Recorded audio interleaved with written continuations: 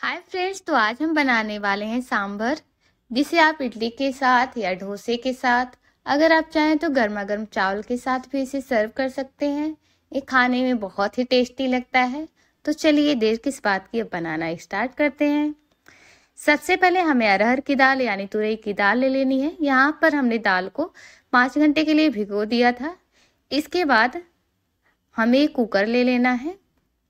उसमें हमें अरहर की दाल को ऐड कर देना है। अगर आप दाल को भिगो देते हैं तो दाल हमारी फूल जाती है, जिससे सांभर हमारा बहुत ही टेस्टी बनता है। यहाँ ऐड कर देने के बाद हमें पानी ऐड करना है। जिस तरह से हम दाल में पानी ऐड करते हैं, उसी तरह से इसमें भी ऐड कर देंगे। याद रखें, थोड़ा पानी इसमें अधिक ऐड करना है। इसके बाद हमें स्वाद के अनुसार नमक ऐड कर देना है। यहाँ पर हमने सादा नमक ऐड किया है। अब हमें हल्दी पाउडर ऐड करना है। यहाँ पर हमने एक चौथाई हल्दी पाउडर ऐड किया है। इसके बाद हमें कुकर पर ढक्कन लगाकर उसे गैस पर रख देना है। आप इसे मीडियम फ्लेम करके गैस पर रख दें। अब चलते हैं हम सब्जियों की तरफ़। यहाँ पर हमने टमाटर लिया है और गाजर लिया है।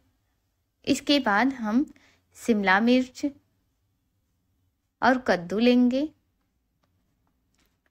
इस तरह से सब्जियों को हमें अच्छी तरह से धुल लेना है। अब चलते हैं हम कट करते हैं इसको। यहाँ पर हमने एक शिमला मिर्च लिया है, इसे हम कट करेंगे। यहाँ पर हमें पूरी शिमला मिर्च नहीं ऐड करनी है, लगभग आधी शिमला मिर्च ऐड करेंगे। इसे हमें छोटे छोटे पीसेस में कट कर लेना है, जिस तरह से हम कट कर ले रहे हैं। इसी तरह से आप भी कट कर लें। यहाँ पर हमने शिमला मिर्च को कट कर दिया है चलते हैं गाजर की तरफ़। इस तरह छोटे छोटे पीसेस में हमें गाजर को भी कट कर लेना है। यहाँ पर हमने एक गाजर लिया है। अगर आप चाहें तो बढ़ा सकते हैं। अब हमें कद्दू कट करना है। यहाँ पर हमने कद्दू को ले लिया है। इसे हम कट करेंगे। आपको ज़्यादा कद्दू नहीं कट करना है। इस तरह से आपको लगभग एक चौथाई कद्दू कट कर लेना है। उसे भी सेम पीसेस में कट करना है, जिस तरह से हम कट कर रहे हैं। इसी तरह से आप भी कट कर लें। आपको कद्दू की पीसेस बहुत बड़ी या बहुत छोटी नहीं रखनी है। हमें जितनी भी सब्ज़ियाँ लेनी है, सारी सब्जियों को एक ही बराबर में कट करना है। इसके बाद हम लौकी ले लेंगे। लौकी के लगभग एक चौथाई भाग को हम कट कर लेंगे। इस तरह से, अच्छी तरह से छिलके को छील कर आप लौकी को कट कर लें। याद रखें, सारी सब्जियों के एक ही जैसे पीसेस हों, ज़्यादा बड़े आकार में ना हो। इसके बाद हम एक प्याज ले लेंगे, उसे भी कट कर लेंगे। याद रखें, हमें प्याज को ज़्यादा बारीक नहीं कट करना है। अब हम सब्जियों को साइड करते हैं, चलते हैं कुकर की तरफ़। यहाँ पर आप देख सकते हैं, हमारी दाल बिल्कुल पककर रेडी हो चुकी है। एक बार हम कलछी से निकाल कर आप लोगों को दिखा देते हैं। देख सकते हैं, ये बिल्कुल पक चुकी है। इसके बाद गैस पर हमें ये कढ़ाई रखना है। उसमें हम ऑयल ऐड कर देंगे। जब हमारा ऑयल गर्म हो जाए तो आधे चम्मच के बराबर हमें राई ऐड कर देना है। राई चटक जाने के बाद हमें मेथी ऐड करना है। मेथी ऐड कर देने के बाद हम इसमें लाल मिर्च ऐड करेंगे। यहाँ पर लगभग हमने चार लाल मिर्च ली है। इसे हम ऐड कर देंगे। आप तीखे के अनुसार लाल मिर्च ऐड कर सकते हैं। इसके बाद इसमें हमें दस बारह कढ़ी पत्ते के ऐड करना है। यहाँ पर हमने दस बारह कढ़ी पत्ता लिया है। लगभग दो पिंच के बराबर हम हींग लेंगे। उसे ऐड कर देंगे। अब हमें प्याज को ऐड कर देना है। जो हमने कट करके रखा हुआ था, उसे हम ऐड कर देंगे। प्याज को हमें धीरे धीरे मिलाते हुए भून लेना है। याद रखें, आपको फ्लेम ज़्यादा हाई नहीं रखना है। इस समय आप बिल्कुल मीडियम फ्लेम रखें।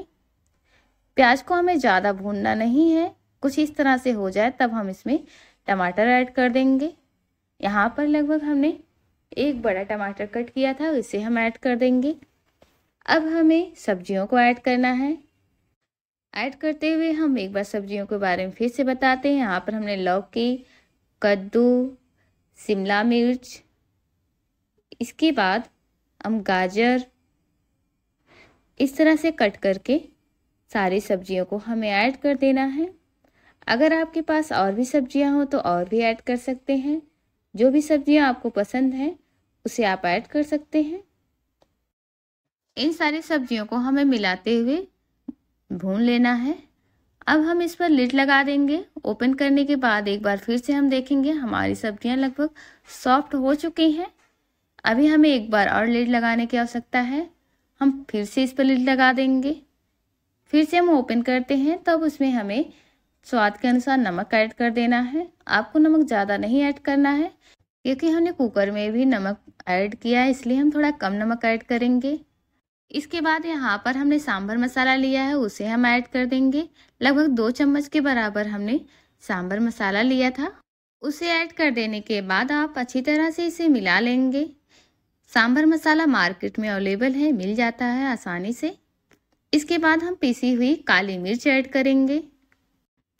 इस तरह से लगभग आधे चम्मच के बराबर हमने काली मिर्च लिया था, उसे ऐड कर देने के बाद अच्छी तरह से एक बार हम फिर से मिला लेंगे। देख सकते हैं हमारी सब्ज़ियाँ लगभग पक चुकी हैं। अब उसमें हमें पानी ऐड कर देना है। यहाँ पर हमने पानी ऐड कर दिया है। यहाँ पर लगभग हमने डेढ़ कप के बराबर पानी ऐड किया है। इतने में हमारी सब्ज़ियाँ पक जाएँगी।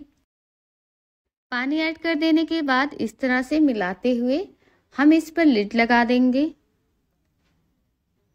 लिड लगा देने के बाद हम इसे दो या तीन मिनट के लिए पकने देंगे। बिल्कुल मीडियम फ्लेम करके आप दो तीन मिनट के लिए इसे पकने दें। ओपन करने के बाद देखते हैं कि हमारी सब्ज़ी लगभग पक चुकी है। अगर आपको सांभर पतला चाहिए तो पानी को ज़्यादा ना जलाएँ। इसे इस तरह से ही रहने दें। अब हमें कुकर की तरफ़ चलना है। यहाँ पर हमें तुरई की दाल को अच्छी तरह से मिलाते हुए उसे ऐड कर देना है। इसे हम कढ़ाई में इस तरह से ऐड कर देंगे।